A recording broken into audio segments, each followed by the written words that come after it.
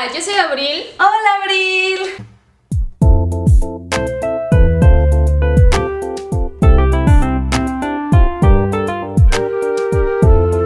Bienvenidos una vez más al videoblog de Ensayos de Abril en un video más de celebración por este quinto aniversario. Estoy muy bien acompañada. Hitsuyu Books, Raquel, ¿cómo estás? Muy bien, muy emocionada de estar aquí compartiendo contigo esta gran celebración. Estoy contenta porque Raquel y yo ya tenemos mucho tiempo siendo amigas, pero es la primera vez que grabamos algo juntas, ¿verdad? Sí, la primera, pero no la última. No la última. y con un tema muy especial porque Raquel es una gran fan del cómic y ustedes deben saber que yo pues soy una neófita en ese tema. Por eso se me ocurrió invitar a Raquel para que nos cuente sobre sus recomendaciones para iniciarnos en el mundo del cómic. Muy bien, sí. Bueno, los voy a dejar con Raquel para que ella nos cuente y yo voy a ir detrás de la cámara para comentar todo. Bueno, pues en realidad yo pensé en cómics para recomendarle a Abril, que como dice es una neófita, pero pensé cosas que le podrían gustar. Creo que ustedes que siguen los videos, pues son precisamente porque les gusta lo que ella recomienda, entonces también pueden ser recomendaciones para ustedes. Y bueno, yo voy a empezar con uno de mis cómics favoritos, que aunque ella ya leyó el, que es mi favorito de todos, que es Nimona, de Noel Stevenson, se los recomiendo mucho si no lo conocen, es Lumberjanes, también de Noel Stevenson y de otras tres chicas, también muy maravillosas en el mundo del cómic. Es una historia de amistad entre cuatro niñas, cuatro mujeres que están en un campamento de verano como tipo scouts y en este campamento, en el bosque en el que se encuentran, ocurren cosas como sobrenaturales, se encuentran con criaturas y bueno, pasan muchísimas aventuras. Pero lo que a mí más me gusta de esta historia es justo la relación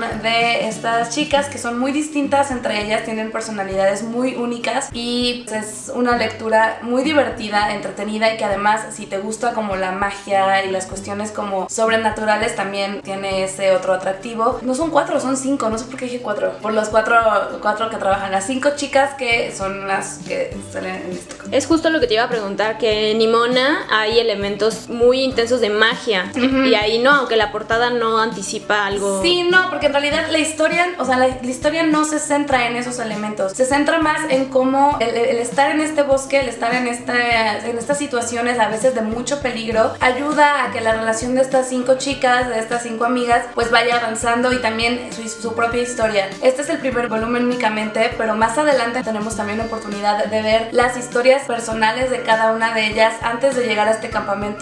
Las vamos entendiendo más de, de dónde viene su forma de ser. Luego, otra recomendación, y probablemente es algo que escuchen muy continuamente porque es, es una serie de, de cómics fantástica, no de fantasía, sino fantástica porque es muy buena, es Saga de Brian Cabón, o Cabón, no sé cómo se pronuncia, y Fiona Staples. Esta es una serie de ciencia ficción en la que se supone que dos mundos, o bueno, el mundo y su luna, las razas de estos dos mundos están en continua guerra y hay como mucho conflicto, y dos personas, uno de cada raza, se enamoran, tienen que huir de todo el sistema que los está tratando de evitar que tengan esta relación que pues puede demostrar que no es necesario que están en conflicto. Todo esto está contado desde la historia de la hija de estos dos. Es una historia muy interesante que habla de los conflictos entre razas y de los conflictos políticos y de la situación política del mundo en el que está. Algo que me gusta mucho son los personajes, ya porque bueno, evidentemente están los protagonistas, que son los papás de la niña que nos está contando la historia, pero también como los quieren capturar y detener, contratan a cazarrecompensas y cada cazarrecompensas también tiene su historia muy interesante y bueno, es una historia que a mí me gusta mucho. Está apenas empezando a publicarse en español en España, no sé cuándo llegue a México, esperemos que pronto. Se me olvidó mencionar en el anterior de, de Lumberjanes, en español está como leñadoras, también por si lo quieren buscar. Este es muy apto para cualquier edad, pero este sí debo advertir que es para mayores de edad, para mayores de 18 años, porque sí tiene algunas escenas bastante gráficas de sexo y violencia. Y todos los menores de 18 años, yo lo quiero.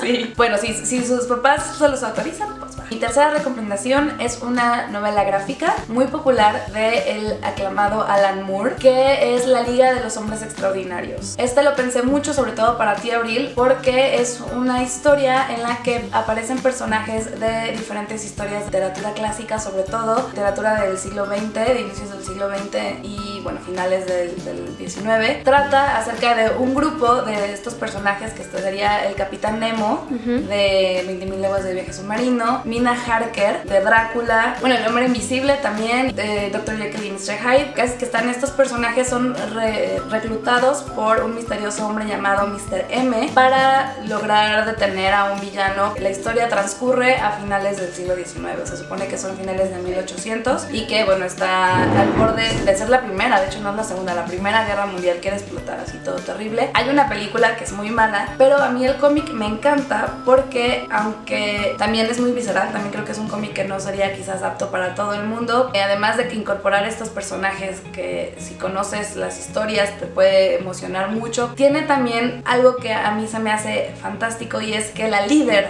de este grupo es Mina y no es Harker, es porque usa su apellido de soltera, pero se me... Murray, Mina Murray. Entonces es una historia muy interesante, muy tensionante porque ocurren cosas bastante locas y sí, es una historia que a mí me gusta mucho y luego tiene una como continuación que es la Liga de los Hombres Extraordinarios Century. Yo creo que de las cosas que he leído así de en formato de cómic, una de las mejores. Mi cuarta recomendación, hay una posibilidad de que ya la hayas leído, no sé, fue la manera en la que yo empecé en el cómic. Cuando estaba muy pequeña, mis padres tenían la colección completa de Asterix y Obelix, que es una serie de, cómics eh, de dos eh, señores franceses, creo, belgas, que bueno, pues hicieron esta historia de los galos durante la invasión romana, que bueno, era un pueblecito que eran los que estaban resistiendo la invasión porque tenían la pócima de ser muy fuertes. Es una historia bastante popular también, hay películas y todo. Los cómics son muy divertidos siempre, porque Asterix es un hombrecito muy pequeño, amable, muy generoso, y Obelix es un hombre muy grande, muy gordo, súper dulce, súper noble, tímido, todo lo contrario de lo que parecería porque pues es grandote y, e impone bastante, pero que cuando era pequeño se cayó a la marmita que contenía esta pócima, entonces es permanentemente fuerte. Y ellos, como los campeones del pueblo, van teniendo diferentes aventuras para ayudar a otras personas que van y les piden ayuda en contra de los romanos y entonces en cada cómic van viajando a distintos lugares. Entonces, por ejemplo, en un cómic viajan a Egipto, en otro a Bretaña, ayudan a los normandos y así a diferentes grupos que existían durante esa época. Ah, este es el primero, Asterix el Galo. Entonces sí, pues Asterix es así pequeñito y Obelix es grandote y, y gordo. Se llevan muy bien, son muy amigos y se complementan también muy bien entre ellos y en las aventuras que tienen. Entonces, este es súper apto para cualquier edad. Yo los leía cuando estaba muy pequeña, tenía como 7 años y los leía y me divertía mucho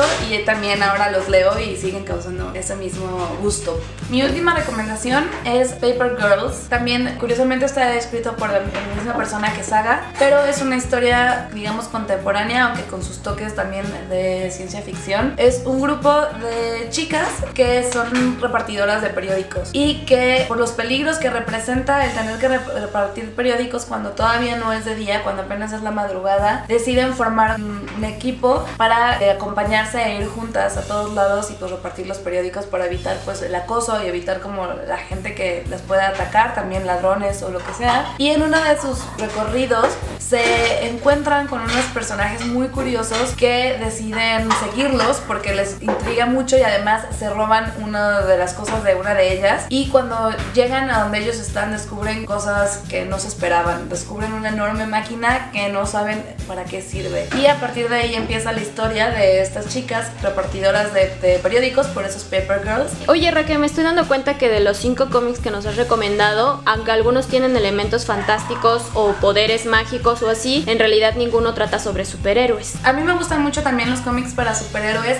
pero decidí no recomendar ninguno en este video. ¿Qué es lo que pasa? Algo muy común cuando alguien dice, bueno, quiero empezar a leer cómic, es que se siente muy intimidado por los cómics de superhéroes. Porque pues llevan muchos años. Muchos de estos, aunque sí han habido reboots, aunque sí han habido nuevamente como números uno y demás, puede ser muy confuso para pues el que apenas está iniciando decir, si quiero leer, no sé, por ejemplo, Batman, ¿por dónde empiezo? Puede ser muy intimidante por lo mismo, porque luego también pues llegan a ver crossovers y todas esas cosas. Y creo que también es eso, que mucha gente piensa, yo no quiero leer cómic porque solo son de superhéroes, entonces también quise como romper un poco con este mito y dar recomendaciones tanto de cómics que han sido muy populares como el de, de Nimona y que bueno, leñadoras, hasta algunos que no se mencionan tan frecuentemente, como pueden ser Asterix y Obelix, que en su época también fueron muy populares, pero por lo mismo de que ya pasó su época, pues suelen ser olvidados. Hola, pues ya escucharon las recomendaciones de Raquel. Tristemente por un error mío perdí el último clip de despedida que tenía con ella, pero eso no me impide seguir recomendándoles su canal literario. Cuéntenos por favor si alguno de ustedes ya conocía alguno de estos cómics, qué les parecieron, qué otros agregarían a la lista. Tengan por seguro que procuraré leerlos en este año, al menos uno de ellos, y comentarles después qué me pareció. A mí me encanta el canal de Raquel por toda su propuesta sobre cómic y fantasía, pues los invito a suscribirse y seguirla en todas sus redes sociales. Muchísimas gracias Raquel por